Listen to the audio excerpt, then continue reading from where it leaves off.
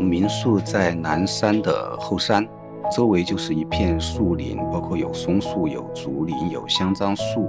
呃，从城里开车大概二十多分钟就能到这里。房价其实是重庆是最贵的，也超过了就所有五星级酒店的房价。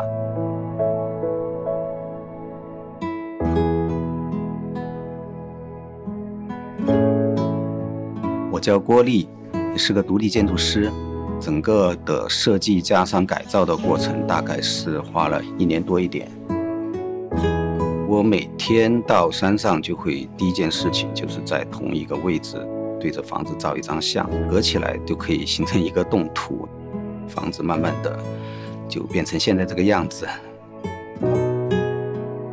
民宿总共占地大概有三亩。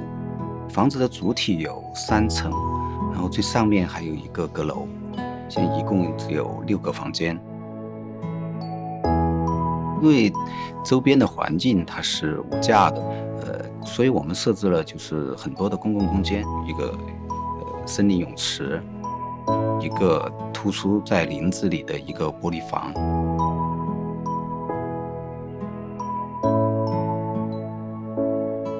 这房子结构它本来是一个内走道嘛，就是所以走道它是黑的。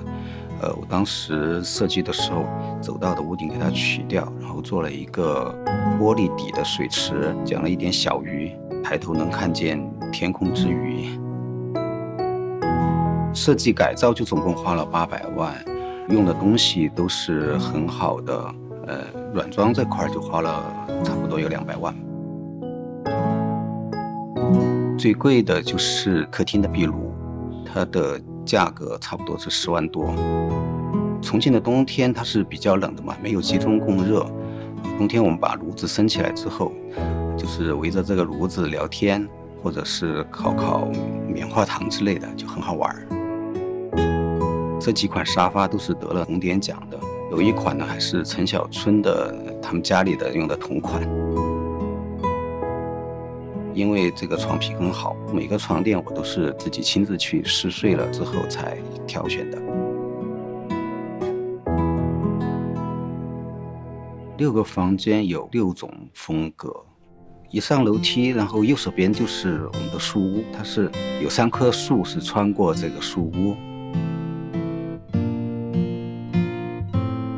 我搭了一个安全网，然后小孩就可以在那个上面去跳。那个阁楼的那个房间就是星空房，一般都会要提前一个月才能订得到，确定为两个人才能住。啊，不想就是人多了，他会就不一样。